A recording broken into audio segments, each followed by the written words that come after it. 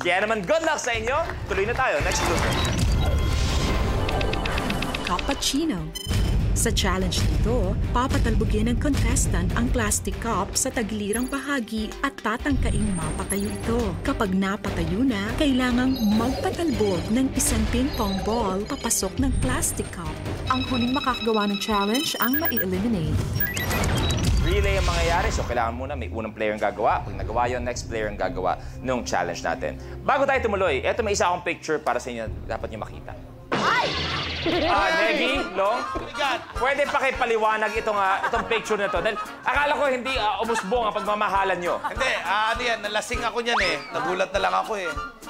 Sa katunayan talaga nagpa-spa ako dyan. Nagpaspa ka dyan. Yes, kaya lang self-service. Ako pagod naman. Eto, sinasabi sa inyo, tagaan niyo sa bato pag nagkatuluyan yung dalawang yan. Yan ang sinasabi ko. Okay? So, kapasino na tayo. Good luck, players. The game begins in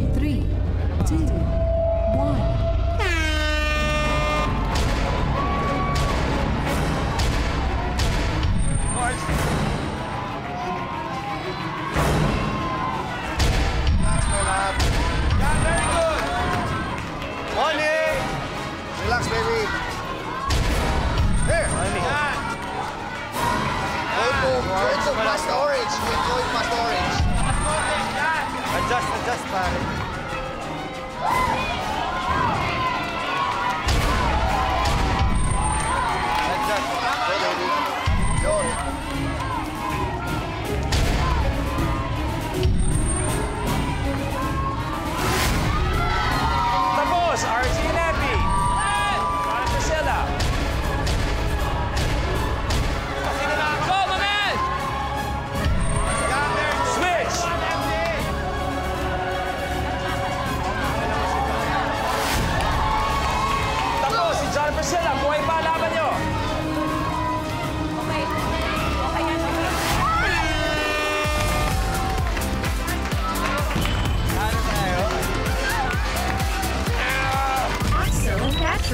Your game's over.